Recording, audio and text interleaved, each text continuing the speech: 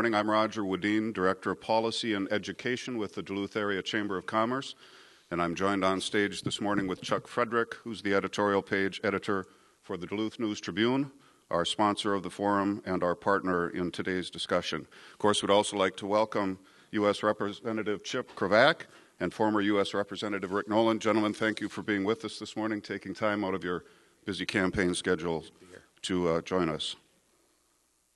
We hope to have a thoughtful discussion on the issues this morning, and in the interest of fairness to each of our guests, we'll ask that opening and closing statements be kept to three minutes and answers to questions be limited to two minutes with the possible follow up.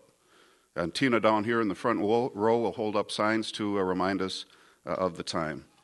And as David indicated, we're pleased to have representatives from the Duluth Superior Community Foundation Civility Project assist us this morning. The materials you received as you entered is a listing of our expectations of you as the audience, and the flip side has several questions that we would appreciate you complete, and they'll be collected upon your leaving today. We intend on having a civil discussion this morning. We will not tolerate any disruptive behavior. If there is, we'll ask one of the officers stationed in the auditorium to escort you out. Chuck and I will moderate. There will be no questions from the audience. Please hold your applause until the conclusion of this morning's discussion. Chuck, why don't you start us off? Well, thank you very much, Roger, and thanks to everyone who's here, everyone who's watching online and watching on television. In addition to, uh, to, to, being a great opportunity to hear directly from the candidates, this forum is part of the Duluth News Tribune's endorsement process. Uh, endorsements, I think, might come out as soon as this weekend, but we'll, we'll find out.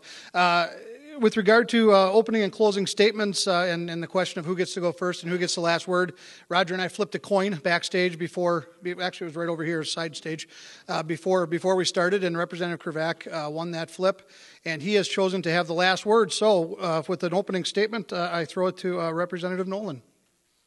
Good morning. I want to thank the Duluth Chamber, Duluth News Tribune, and of course Congressman Chip Cravaack for being here this morning, and, uh, and, of course the audience giving us a chance to debate the great and important issues that we're facing in this election contest. Uh, I also would like to take a, a, brief moment to introduce my number one uh, political advisor and uh, my best friend, my hunting and fishing partner, and my uh, uh, someone who shares my passion for, for public service, my wife Mary Nolan. Mary, would you just stand up for a second? Uh, as as as um, for myself, I'm a fourth generation um, Iron Ranger. Um, I've uh, raised my family. I've uh, built my business here in Minnesota's eighth congressional district. And I know that, that that's no requirement for representation, but I, I will tell you it gives one a great advantage. Um, I, uh, I know firsthand what people want and what they expect uh, out of a congressman from our district because they, uh, they're the same things that I want, the same things that I expect for my family, uh, my friends, and, and for my neighbors. This election contest uh, offers us a real clear choice, much, much more so, I think, than in most election contests. Uh, Congressman Cravaack has voted repeatedly to um, end Medicare um, as we know it, increasing costs uh, for our elderly. Uh, Congressman Cravaack has uh, voted uh, numerous times to increase military spending while uh, cutting uh, domestic spending for our infrastructure, our education, and our human development initiatives.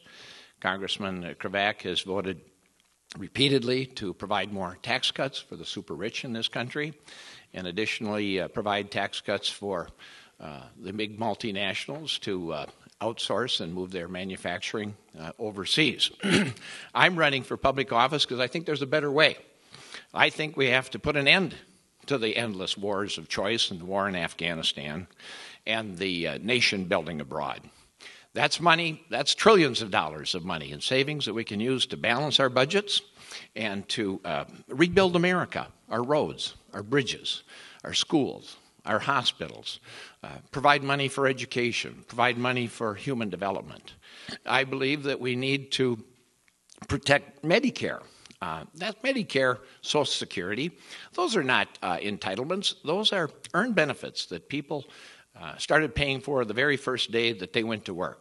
They're entitled to those benefits. Uh, they've earned them, and we have to do everything we can to make sure that we protect them. We have to keep our promise to our seniors. And that, in large part, among other things, is what this election contest is really all about. I look forward to debating these issues and getting into the details, and uh, uh, look forward to, to, this debate very much. Thank you, Congressman, and, and thank you to all of you. Thank you, Representative Nolan. You've actually hit on most of the subjects we're going to be talking about. So, well, good. Representative Cravaack. Well, thank you, Chuck. I appreciate being here today. Thank you for all of you for sharing your morning here. And uh, also, thank you very much for the uh, Duluth Chamber for uh, hosting us here today. You know, while serving in the 8th District as your representative, I took the same principles I used as a naval officer to Congress protect the country, preserve the Constitution. Uh, when I first started running, I was a stay at home dad that was a part of the PTO that was concerned for our children's futures. Today, I'm that same guy. I am very concerned about what's happening in Washington. Because when I went there, I knew it was broken, but I didn't realize how broken it was till I actually got there. We've had the highest and longest unemployment since the Great Depression. We've had an unprecedented four straight years of trillion dollar deficits. We are $16 trillion in debt. And for the first time in history, the credit rating of the United States has been downgraded.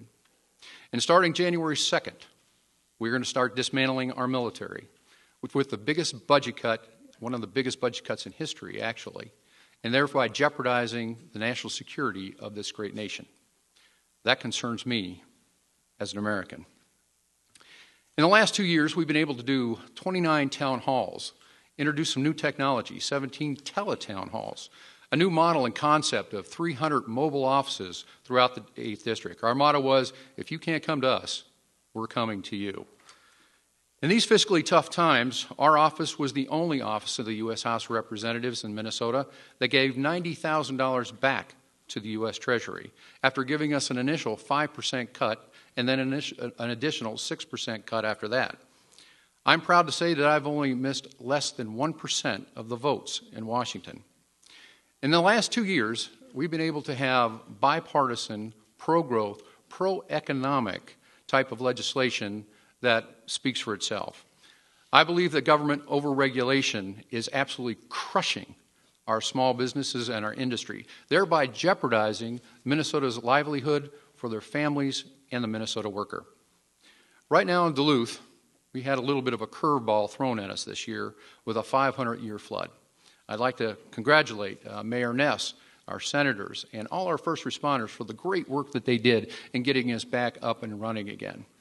There's been a lot of damage to private property and public infrastructure. But at the end of the day, we came together as Minnesotans, brought it together, and took care of our neighbors.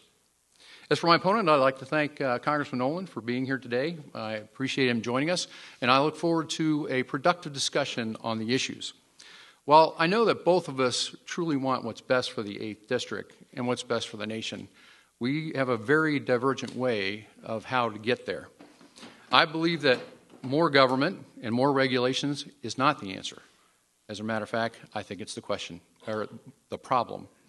Thank you very much. I appreciate the time today. I look forward to a uh, open and honest debate on the issues. Well, thanks to both of you. I, I think I'm going to ask the first question here. Let's get right to the, the, the issue that the word that uh, keeps coming up in letters to the editor and all the nasty uh, TV commercials. That's Medicare.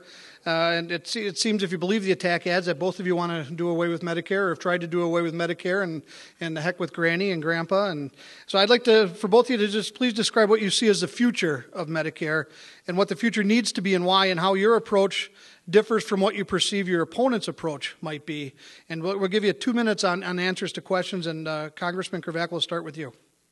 First off, I believe that Medicare is a commitment. It's a commitment we made to our seniors. It's a commitment that I made to my 81 year old dad that I'd make sure that Medicare was going to be there for them. we have a plan. I'd be more than happy to take a look at another plan, but unfortunately, there isn't one. The bottom line is Medicare is insolvent in 2022. Doing nothing is an, actually a dereliction of duty. So we have a bipartisan uh, House plan that addresses this issue. And It actually is a plan that came out of genesis out of the Clinton administration under Alice Rivlin, who actually worked in the Clinton administration. This is a Democrat plan. She worked with Paul Ryan together to save Medicare. And again, if you're 55 years and older, nothing changes for you. But if you're 54 years and younger, there has to be a change because there will be nothing in 2022. It gives future seniors options, the same type of options that federal employees get. So, our plan, the bipartisan House plan, is a plan that gives our seniors options uh, through a premium support model. There are no vouchers. It is a premium support model. It is seam- seamless to our seniors. And it, the second, at least of the, of the private plans, are going to be full premium support level. Or if you do not want to go with a private plan, you can go with traditional Medicare. The bottom line, it's patient centered. It's patient centered to give our seniors options. The other thing you have to discuss is the IPAB, the Independent Payment and uh, Pricing uh, Payment Advisory Board. This board is an unelected, unaccountable board that will be making uh, medical decisions for our seniors. I think that's wrong. Way to go. I think those decisions should be made between the doctor and the patient. Thank you very much. Representative Nolan, I believe I've heard you say that you do support a plan. Can you please tell us about it? Yeah, um, Medicare is a promise that we've made uh, to our seniors. And uh, it's, it's, it's a sacred promise, in, in, my judgment. We didn't get from a country with an average life expectancy of 47 to one of 77 without having provided some very good health care for our senior citizens. And up until that time, they were dependent upon the private sector, and it simply wasn't affordable. So we put together a good plan. We said to people, you know, we want you to start paying for your health care when you get older, the very first day you go to work in your youth. And so um, I, I, really reject the notion that Social Security and Medicare are, are some kind of entitlements. Those are earned benefits that people earned and paid for the very first day that they ever went to work, and they have every right to expect it. Now, we've all seen these attack ads against me. In fact, I'm told that uh, they're more being spent on those than any other candidate in the country. But I remind you that uh, no less than WCCO, the Star Tribune, uh, NPR, uh, KSTP, uh, WCCO, they've all done their fact checks on these ads and they've said that they're misleading, they're false, uh, they're untrue, that they are ridiculous. The fact is, the Democrats have always supported Medicare. We will always support Medicare. And, Congressman, with all due respect, um, um, you voted to uh, essentially end Medicare as we know it. That's the way the Wall Street Journals described it. That's the way the New York Times have described it. That's the way all the fact checkers have described it, and uh, and that and that's the way it is. I mean, you can we can spin this all we want, but at the end of the day, the the record is uh, what the record is. And I am as strong a supporter of Medicare and Social Security as, as the Democratic Party as, as you will ever find. And uh, your voting record shows that you voted to do away with Medicare as we know it. Turn uh, seniors back over to the private insurance sector. And additionally, of course, you've supported privatization of Social Security. Representative Nolan, what, what, about the future, though? What about going forward? And, and Representative Cravaack, I'll, I'll, give you some, some time to rebut, but I just want to follow up. What about this notion that Medicare will be insolvent in, in 2022? What should we start preparing now? What's, what is your plan for the future? Well, ab- ab- absolutely. You know, we're looking at two things. Right now, we're looking at massive uh, deficits in our budget that are not sustainable and they threaten our future. And it isn't Social Security and Medicare that caused that. Um, that's spending on uh, a number of issues that hopefully we'll, we'll, we'll, get into here. But yes, of course, we have to make sure that Medicare and Social Security are viable. so, so how? What, what is well, your plan? Um, you know, a recent study by the National Science Foundation showed there's as much as $750 billion a year in waste in our healthcare system. And um, so we have to attack that. We have to eliminate the fraud. We have to make sure that there aren't overpayments. We have to make sure that uh, the, the, system is viable and do what it takes to make it viable. But we don't do that by, uh, as our congressman has suggested, by doing away with Medicare and, sub- and replacing it with some voucher system or uh, what essentially uh, turn it over to the insurance industry. Of course, but you know, the point is we've got some time to work on that, and we do have to work on that. And there's plenty of opportunities for savings without cutting benefits to our seniors. Thank you very much. Representative Cravaack, 30 seconds to, to rebut that. Again, uh, in the PolitiFact lie of the year of 2011 was that Republicans want to end Medicare. We have a plan. I'd love to look at a, the president's plan, but he doesn't have one. In the president's budget, which not one senator voted for or not, not one person in the House represented voted for, doesn't even address the issue that Medicare trustees tell us that Medicare is bankrupt in 2022. We have a plan for maintaining the uh, current seniors, make sure that they're taken care of, 55 years and older. Nothing changes for you, but we have a plan for the future for the next generation Americans to make sure something is there for them. Chuck, just a 10 second rebuttal. Yeah, you have a plan for Medicare. It's to do away with it. All right, thank you, gentlemen. PolitiFact Live, the year of 2011. Thank you both. Let's uh, move on to another subject, and that's on the Affordable Care Act, or commonly known as Obamacare. Governor Romney has said that if he's elected president, he'll do away with it. Uh, I doubt he'd be able to do that unilaterally, but clearly through presidential directives, he could probably uh, do some uh, uh changing of it. Um, it's upheld by the Supreme Court, remains the law of the land. Um, but is there something in Obamacare that's worth keeping? Do we have to throw the whole thing out? Uh, what's your opinion on that? Congressman Nolan, let's start with you. Well, um, the Affordable Care Act is a, is, a, is a good beginning in providing a universal health care for our people um, in this country. And there are many uh, good features uh, that are in it. Uh, some are more apparent than others. Um, some of the obvious ones are uh, guaranteeing that uh, people can't be rejected because of a, a pre existing condition. Uh, another one of the provisions provides that. Uh, people can insure their children up to the age of, of 26. Uh, those are very helpful.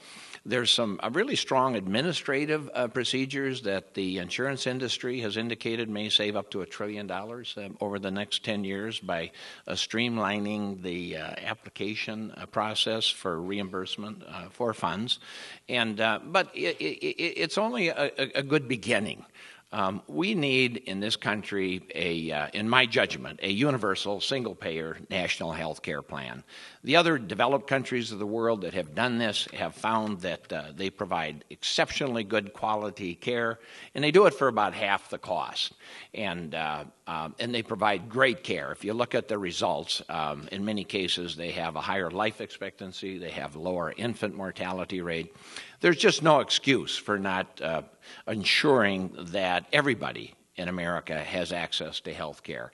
And that's my ultimate goal. We'll take a look at the Affordable Care Act and uh, as it becomes implemented, see what's working, see what's not working, uh, make changes along the way. I've never seen a, a law or a, a, new program like that that didn't need some adjustments along the way. And so that's what we'll do. But the goal has to be to make sure that everyone in America has access to affordable health care. Thank you, Congressman Cravaack. First off, in addressing Obamacare, the first thing that you have to take a look at is zoom up to the 35,000 foot level and take a look that not one member of Congress read the bill. Let's just start there. And after the uh, after the we actually started reading the bill and the bureaucrats started going through it, they're only halfway through it right now. Uh, they've created another 30,000 30, pages of additional rules and regulations.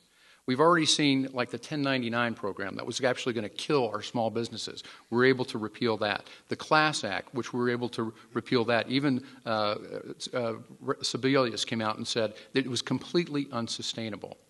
Uh, we're having one of the biggest tax increases on Americans because of Obamacare. And again, we have to go to the IPAB, the Independent Payment Advisory Board, which is an unelected, unaccountable board. Right now, our, our seniors can come to me when they're having problems with their Medicare, and I can address the issues that they may have regarding Medicare. Now, in the future, because of an unaccountable, unelected board, I can't. I will not be able to help if you're having problems with Medicare because of an unelected, unaccountable uh, board that I'll be using pricing to, uh, to uh, tell doctors how much they can charge, what, what types of procedures that they can do. And now, that as doctors tell us, doctors come out and tell us, they say, you may have health uh, insurance, but you may not have health care.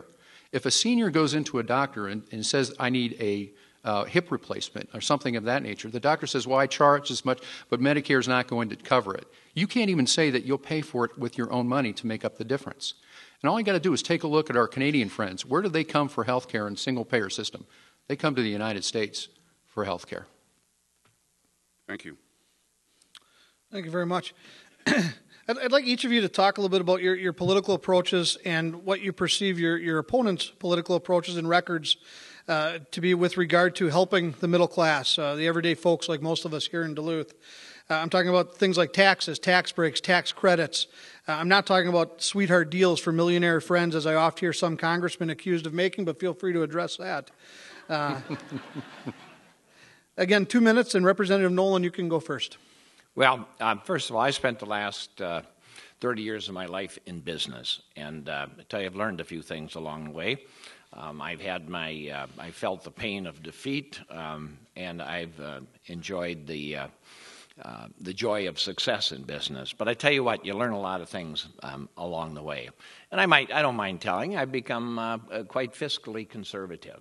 Uh, you learn in business uh, about balancing budgets, about meeting payrolls, about uh, getting things done, and you learn that you have to cut spending where you're not getting a return on your dollar, and you learn that you have to be not be afraid to spend some money where you are going to get a, a, return on your dollar. And uh, hopefully, we get into these issues about our spending priorities and uh, the difference between Congressman Cravaack uh, and myself. But I tell you, one of the great problems in this country is the decline on the middle class. The rich are getting richer, and the poor are getting poorer, and the middle class is getting crushed.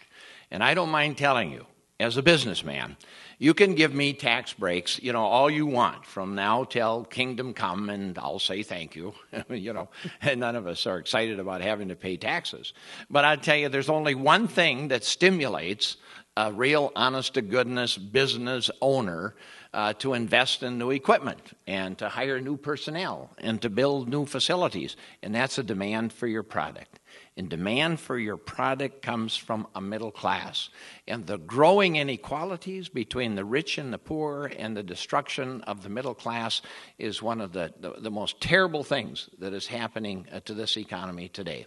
And whether it comes to taxes or spending, helping a, a, a poor kid get a chance to go to college, whether uh, standing up and defending collective bargaining rights and wages and benefits for the working people, every opportunity that we get, we have to say to ourselves, is this good for the middle class? Because we're going to build this economy back up from the middle out, not from the top down. That doesn't work. That's what got us into trouble. The middle class, that's what this election contest is all about. Excellent. Thank you very much. Congressman Cravaack on helping the middle class. It's about jobs. It's about creating jobs. It's about getting the small business owner to give them the confidence to be able to expand and create jobs. I've been endorsed by the NFIB and listening to small business owners and listening what they tell me, there are two things that prevent job creation in this com- country. And that's an overbearing tax code and also uh, the amount of rules and regulations that are pl- placed on small businesses. The bipartisan House plan, they give everyone a tax break. But at the same time, they are eliminating the special carve outs, the loopholes that only a small percentage of taxpayers actually get. We need to incentivize the small business owner, ensure that they can expand and create the jobs that are needed for the middle class. Seven out of ten people are employed by small businesses throughout the nation. I would say that's actually higher in the 8th District of Minnesota because we are small businesses. We are small towns. So when you incentivize the small business owners, they give the confidence to expand and create jobs. That is the key to creating jobs. And therefore, when you create those jobs, you create the demand that Congressman Nolan was talking about. You can't create demand artificially from the government. You have to create demand from the people. And you do that by two things. You give them uh, a tax code that they can work with and eliminating the rules and regulations. Those rules and regulations, every time there's a new rule, a new regulation, that's more money to that uh, small business owner that takes out of their back pocket that they can uh, make sure they invest in their company. I think it's time that we get the small business owner to pay more attention to their customers and less time to the IRS. Thank you both. Um, Well, just, uh, le- le- neither of you touched sweetheart deals for millionaires. I'm a little little disappointed, but uh, Representative Nolan, I'd like to give you 30 seconds to rebut if you'd like. Well, I was just going to say, you know, if you look at the studies by the National Federation of Small Businesses, they will tell you it's not tax breaks that stimulate uh, them to invest. It's a demand for your product. So yeah, we got this thing upside down. You know, um, uh, you voted repeatedly uh, to give more and more tax breaks to the richest and most powerful people uh, in this country under the guise that we're helping small business. I am a small businessman, um, and I'm in a, a difficult business, a, a, difficult industry in the forest industry products. We don't have a problem with regulations for crying out loud. Uh, we want to have healthy, safe working conditions for our workers. I, we don't want to pollute our neighborhood and, and our environment, um, but we do need demand for our product. Give me a tax break. Why would I invest in new equipment, no, new personnel, uh, new buildings to have it sit there idle? Uh, what I need is another order for a load of pallets every day. And then if I get that, I'll put people to work. And to get that, I need demand for my product. Very good. Thank you. Roger? Go ahead, Congressman Krabaklin. And get demand for your product, you have to get people back to work. The people create the demand. Exactly. And making sure that the small business owner can expand and create those jobs that create the demand. Again, the, the NFIB, yeah. which was in, uh, the, that endorsed me, yeah. is saying it's the key to the recovery is the small business owner creating jobs throughout the United States. It cannot be artificially.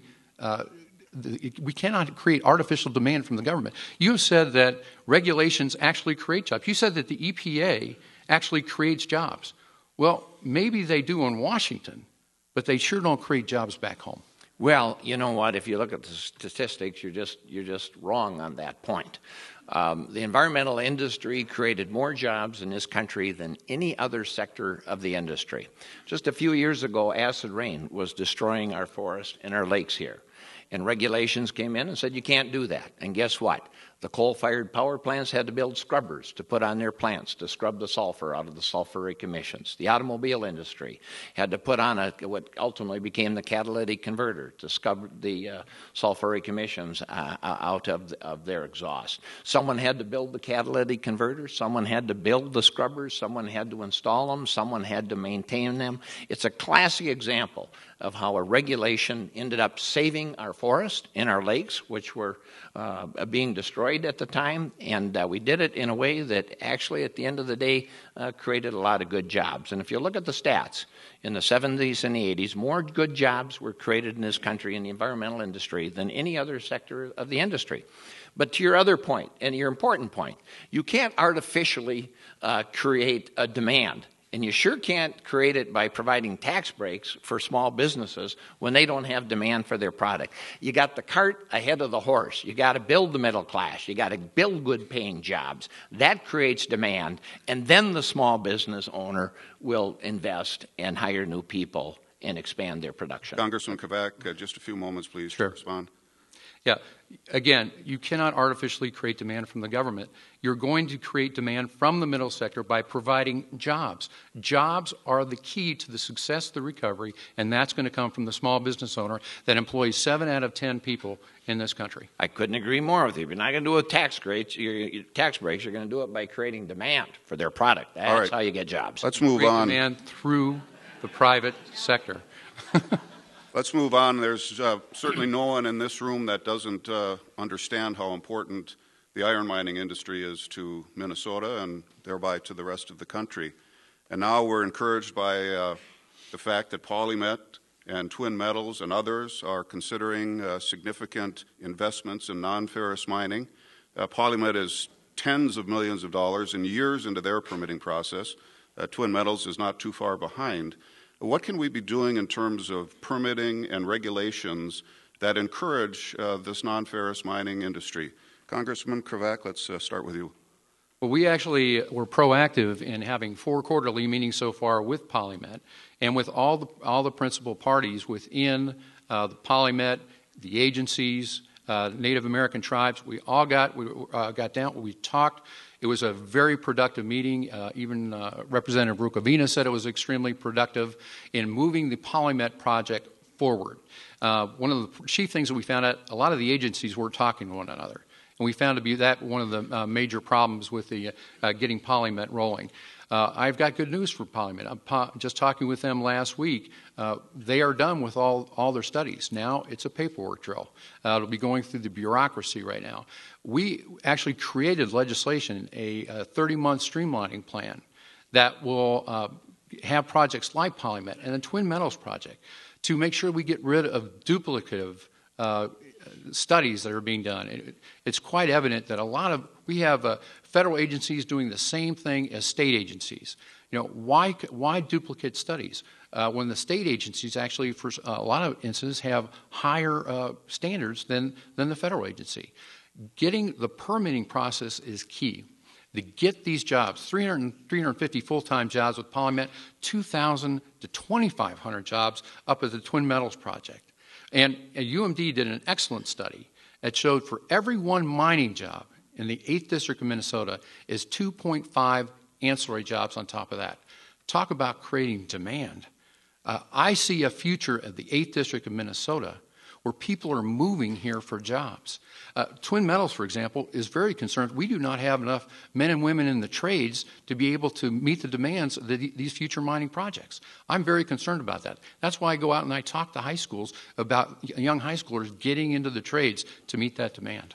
Congressman Nolan, your thoughts on our permitting and regulatory process? Yeah, um, as I mentioned earlier, I'm a fourth generation Iron Ranger. I've always been for mining. I always will be for mining. Most of my uh, people in my neighborhood have worked at the mines at one time or another, and we have a, a new uh, manganese mining operation that's uh, getting underway, getting started just north of where our family sawmill and pallet factory uh, is located. Uh, this might be one area, uh, Congressman, where you and I have some agreement. We clearly do have to uh, find some ways to expedite this permitting process.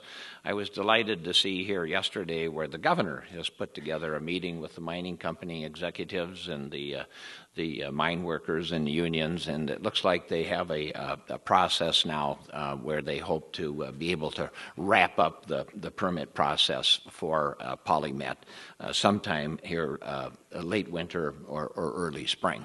It's long overdue. It's taken eight years, $42 million, and that, that, that, that's simply inexcusable. But I tell you, I've met with the mining companies. I've, of course, met with the steel workers, and I'm so proud to have the uh, miners and the steel workers uh, endorsing my campaign.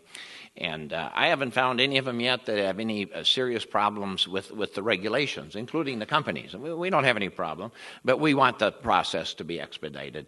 And I tell you, sometimes you don't just do that by introducing a bill. I was up at Bluefin Bay last night, and they reminded me of how I went to bat for them when the DNR wouldn't approve that project. And if some of you get up there, they got oatmeal Nolan on the menu in, in, in recognition of that, because um, I wouldn't take any pay for the deal.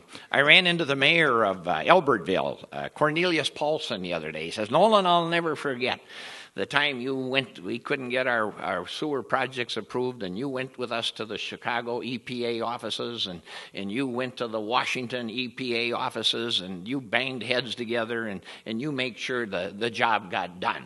And he said, as a result of it, we got our projects approved. We went from a sleepy little town of 700 to a, a thriving metropolis of 7,000 with jobs all over the place. Thank you, Congressman Nolan, he said. So sometimes you just got to roll up your sleeves and uh, get everybody together in the room and say we're locking the doors and nobody's going home till we till we figure this thing out and get a solution. That's the kind of thing I really like to do. well, I like rolling up my sleeves too. Uh, with the Buy American Steel Amendment, uh, with the Buy American Steel Amendment, we're making sure that that American steel goes on American projects. And I had to go head to head, actually, with a fellow Republican in committee who tried to gut that that uh, bill to make sure that we use American steel on American projects. Uh, to me, what a concept. Uh, I, have been able to uh, receive the endorsement uh, from uh, Mayor Roger Skraba up, up in Ely and uh, Mike Forsman, who's the county commissioner up St. Louis County, because they know how strong I am on pro mining issues. Now, even Jeff Anderson, who now works for you, has come out and said that Cravaack gets it. He's the he's the pro mining candidate in this race, and uh, you know I'm a strong proponent of mining, both taconite mining because we cannot forget taconite, and also the PolyMet mining as well. We have God's grace. We have the second to third richest precious metal find here in the in the eighth district of Minnesota, and we are very blessed. And I think we should be able to harvest in an environmentally friendly way. Thank you. Um, quick rebuttal. All I'd say, if if you want 10 to line, seconds. If you want to line up endorsements on the Iron Range, I got a heck of a lot more than you do, starting with the steel workers and the retired steel workers. But we got jobs coming to the Iron Range, and that's what I'm working on. Thank, thank you So, both uh, very much. Uh, You're both doing a little bit better than our presidential candidates on, on watching the, the time, but uh, let's let's keep an eye on Tina down here and her sign. Uh, let, us switch uh, switch gears here and talk a little bit about transportation. Congressman Cravaack, shortly after you were elected in 2010, you questioned the new terminal project up at the Duluth International Airport. I think you, you came to change your mind on that one, but you brought up the issue of wants versus needs, and and, and I think that that's a very critical issue when it comes to transportation funding, uh, things like highways and airports and passenger rail lines and vehicle miles travel taxes and, and things like that. I, I'm curious what, what you consider wants and needs uh, with, with, with regard to, to transportation funding and, and how you would prioritize transportation funding from each of you, of course. And Congressman Cravaack, we'll start with you. Uh, two minutes, please. Obviously, uh, being on transportation infrastructure, this is what I've been working on for the last two years, ensuring that uh, we have the right money going to the right projects uh, for the right reasons. And uh, I work very closely with Brian Ryks on the airport expansion. It's, uh, it has gone well. I'm on aviation. I'm the uh, vice chair of aviation. We worked very hard, and, and I just was up at the airport last week with with the uh, transportation chairman, John Mica. Uh, we were able to talk and take a look, and uh, the plan's going well. I'm very proud of that. we were able to pass a transportation bill, which has had nine extensions. Uh, in the previous Congress, in the 111th Congress, with a Democratic House, Democratic uh, Senate, and a Democratic President, wasn't able to get passed. And we were able to pass it in the 112th Congress. Um, we wanted to make sure that the right dollars went to the right projects. We want to make sure that the gas tax is used wisely. Uh, within the transportation bill, I was able to insert the Buy American Steel Amendment to make sure that uh, American steel, by the way, which 80% comes from the range, goes on American projects. In addition to that, I was able to beat back the VMT, the uh, vehicle mileage tax, which was tried to be brought up. That would absolutely kill uh, us in rural districts with that vehicle mileage tax. Now, you know, the pro, in the bipartisan uh, House agreement, what we believe is that we can make sure that by having drilling royalties associated uh, with our transportation, so to make sure, I'm watching you, Tina, um, making sure that we can uh, fund the projects that we need. Making sure, the, uh, making sure our, our, uh, our gas tax gets to the infrastructure that we need. Make sure it gets to what it's paid for goes to our bridges and our roads and getting our people back to work. We were able to pass it. I wanted a five year bill, but we passed a two year bill. But to give our contractors the stability to make sure they can recapitalize, hire, and invest. Thank you. Congressman Nolan. Um, you know, Congressman, uh, the old uh, football coach, Bill Parcells, once said that um, uh, you can spin the game any way you want, but at the end of the day, your record is your record. And um, you know, when it comes to uh, transportation, you know, uh, and your votes, I, I, of course saw where you, you voted to increase nation building abroad and the military by some four trillion dollars, uh, but you voted also to uh, cut uh, transport transportation funding and infrastructure funding here. In fact, I believe the bill that uh, that you ultimately did pass, you're talking about cut transportation funding by uh, almost a third. Um, you spoke out against the uh, airport terminal here in Duluth. Uh, you introduced legislation and voted to do away with essential air services for regional airports like Brainerd and Hibbing and uh, International Falls and, and Bemidji. Uh, you spoke out against the uh, intermodal transportation center here for Duluth, and you've come out against the the rail passenger service uh, between here and the Twin Cities and the Northern Express, which would uh, go along the western end, end of this district.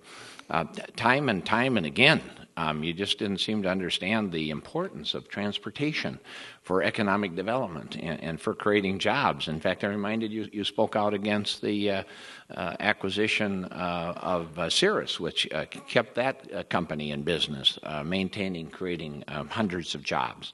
Um, the fact is, is that our transportation uh, system, whether it be air, rail, uh, highways, is such an integral part of the foundation um, that's essential uh, for job creation and building uh, quality communities.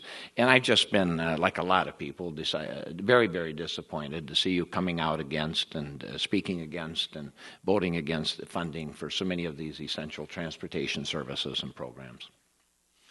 Again, as a member of the Transportation Committee, one of the things you have to t- weigh and balance is where's the money coming from? Mm-hmm. Where is it?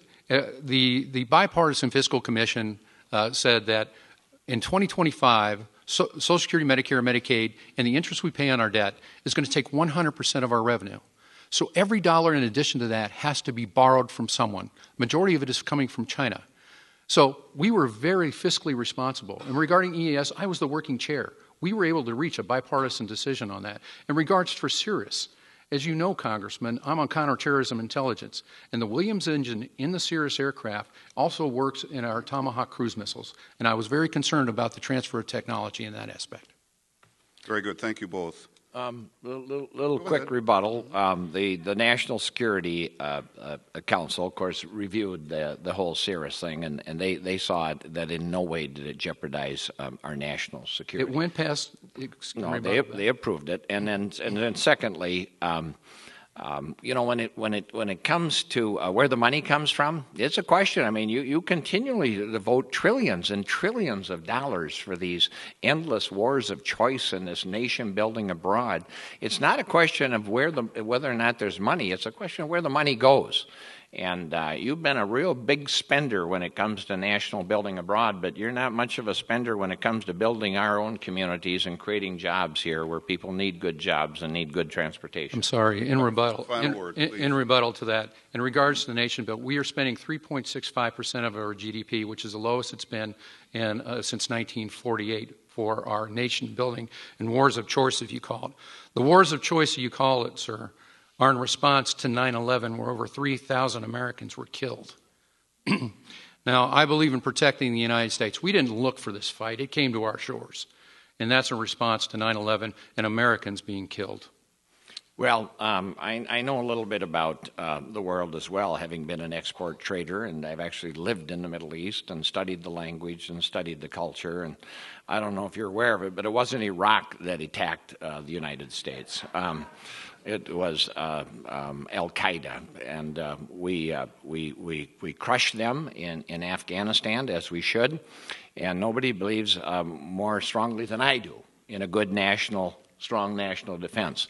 But that doesn't mean we have to keep doing this nation building where it's not wanted, where it's not welcome, where they blow it up faster than we can build it. And it doesn't mean we have to have a military base in every nook and cranny of the earth. It doesn't mean we have to be the policeman of the world. Every nation that's ever tried to do that has ended up collapsing uh, a bankruptcy in its own dead weight. Final word, Congressman Cravaack, and then we must move on in regards to our nation, we're planning to take $1 trillion out of our, our national defense. We're going to have the smallest Navy since 1915. We will have the smallest ground forces since 1940 and the smallest Air Force in existence of its history. I believe that is a detriment to the national defense of this country and leaves us vulnerable. Well, just real quickly, the smallest. Uh, Roger, let's, let's move on to the next issue, well, please. No, no, this is an important point. The, the smallest, in your judgment, is bigger and more than all of the rest of the world combined. Well, now I do feel like Jim Lehrer. Roger? let, us let, move on and let's broaden this discussion out a little bit. Uh, a Gallup poll that was released in August finds just one in ten Americans approve of the job that Congress is doing. A CBS New York Times survey in July found just 12%. National Public Radio conducted a poll and they found uh, 17%. Whether it's 10 or 12 or 17%, it's low. Yeah. And when people talk about the political discourse in Washington, D.C., uh, sure, they might be affected by the economy that we've been going through, but clearly a big part of it is the bitter bipartisan or bitter partisan discussions that take place on virtually any issue. Uh, how, what can we do to soften this political discourse that seems to be not only disruptive, uh, but simply doesn't allow things to get done. Congressman Nolan, your thoughts on the partisan nature of politics these days? Well, it, it, certainly it's very, very disturbing. Um, and I know, uh, Congressman, my, my first uh, uh, term of service in the Congress of the United States, we worked 48 out of uh, 52 weeks in the year, and I, I see you guys have worked about uh, 32 weeks out of out of the 52. Um, the Congress now goes into session uh, generally at 6 o'clock on a Tuesday night, and you have some votes scheduled, and what you don't finish up on Tuesday night, you finish up on Wednesday morning, and then after two or three rigorous weeks like that, while you go on a week's vacation, and, and then after a couple of rigorous months like that, you go on another month's vacation. I, I believe you were off the entire month of August, and now you're on another taxpayer funded uh, two month vacation. Um, in some respects, when, when, you know, the Congress has to go to work five days a week like everybody else uh, in America. And when you do that, you start getting to know one another. You develop respect for one another. You uh, learn where there are areas of compromise that are potentially uh, possible. And uh, you roll up your sleeves, you go to work, and you get things done. And I think we need to go back to that. Congressman Cravaack, your thoughts on part Well, I find it a little ironic that the congressman is saying what our work schedule is and saying it in such a manner where our work schedule is published on on uh, the website and where we uh, the amount of time that we work. Uh, what you call vacation, I call constituent work week uh, coming back into district and doing over three, you know, going out to the districts, doing 20, uh, 29 town halls, 17 teletown halls in district, meeting, having four mayor roundtables where we were able to meet with over, uh, inviting over 200 mayors. We've had two job fairs uh, in, in the district. I call those constituent work weeks. And it's ironic that you mention it because in, in articles that you have said and statements you have made, you said that you, when you were in Congress, you worked two days a week and you spent the rest of the days fundraising. Uh, that's what you said. While you were in Congress as well, uh, four, out of, four out of the six years in Congress, you voted yourself a pay raise. You increased your pay by 50%. And at the same time, you uh, missed 30% of your votes while giving yourself a pay raise. So I find that a little bit ironic that you're, you're criticizing our work schedule and the work that we've done and the 29 town halls, the 17 tele, 300 mobile offices and going, going out through the district. And in regards to the frustration of Congress, I feel it too. I'm extremely frustrated in the aspect that when we create bipartisan legislation in the House, we've got 38 bills sitting on the Senate side waiting for Senator Reid to take them up. These are bipartisan bills that have passed the House, and yet Senator Reid refuses to bring them up for open and honest debate. Allow them to fail or succeed on their own merits, but please, Senator Reid, allow them for open and honest debate. One of which is Boiler MACT, which directly affects our paper mills. But one of the most uh, the things that concerned me the most as a commanding officer was unintended consequences to, uh, to orders the unintended consequences is going to affect our hospitals, our schools, and our municipalities for that Boiler MACT. Please, Senator Reid, take these 38 bills up. Congressman Nolan, I suspect you'd like to say something in response. Yeah, you know, well, again, the, the record is what the record is. And uh, this Congress is the most unaccomplished uh, Congress in uh, 60 or 70 years, both in terms of legislation uh, passed and uh, and in terms of, of time worked and served. And the problem is everybody's everybody's campaigning and nobody's governing. I, I applaud you, of course, for the work that you do in the district and and getting to know your constituency. But there's a time also to uh, go to Washington and go to work and to get things done. And with regard to my, my, my record, you know, you can't, you can't cherry pick a little period in time and characterize that as my voting record. Um, I, I served in elective office for 10 years, and I was there well over 90% of the time. And uh, we cast a heck of a lot more votes than, than your Congress is casting. And it's a little easier when you have all your votes scheduled for 6 o'clock on Tuesday night. Um, you know, we, we had them scattered out o- over a much longer period of time. And you know as well as I do that most of those votes are of no consequence whatsoever.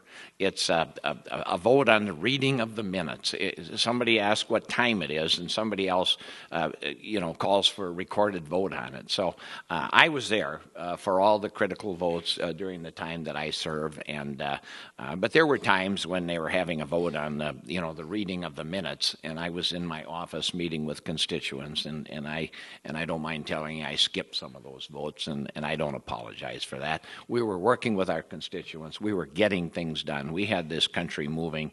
We had uh, full employment and uh, we had a balanced budget. And uh, we weren't uh, throwing the towel in and going home when we found ourselves in disagreement with the loyal opposition. We stayed there and we worked and we duked it out until we got it done. And that's what we need to do again.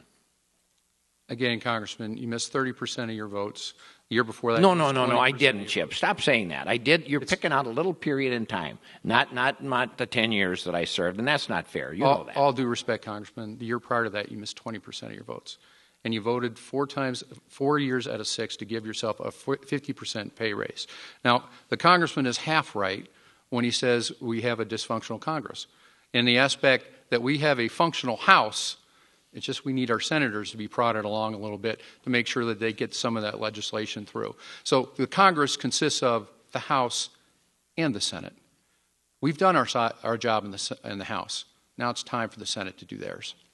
Well, and you know, you keep going back 30, 40 years ago. My God. You know, the, the congressional salary at the time was uh, uh, $40,000.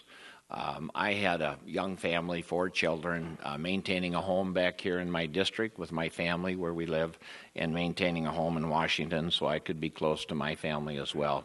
We were working hard. Uh, we were doing a good job. Quite frankly, uh, you couldn't afford to stay in the Congress at, at, that salary at that time, two, maintaining two homes. So for me, it was a matter of uh, raising the salary to a level where uh, I could afford to stay in my Congress, and I was proud of the work I was being uh, was doing. And, and I remind you, you know, syndicated columnists uh, indicated that I was one of the 19 most respected members of the entire Congress, House and Senate.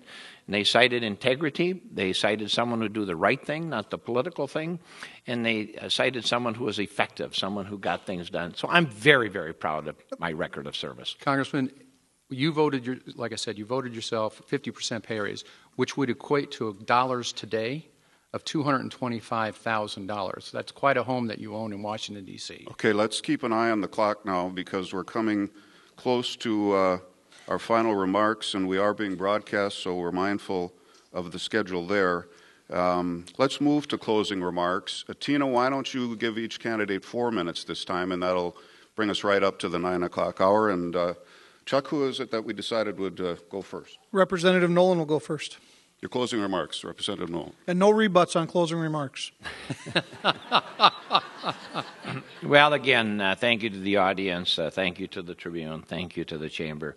Uh, thank you to thank you to Chip. It's it's been fun to have a chance to debate with you here, and uh, I have nothing but respect for Congressman Cravaack, Cravaack's service. Uh, we just have a strong disagreement as the, the direction that this country has to, to go in, in, in moving forward. Um, as I said in, in, in, the beginning, Congressman Cravaack has, has voted uh, to do away with Medicare as we know it. Uh, call it a voucher system, uh, call it uh, whatever.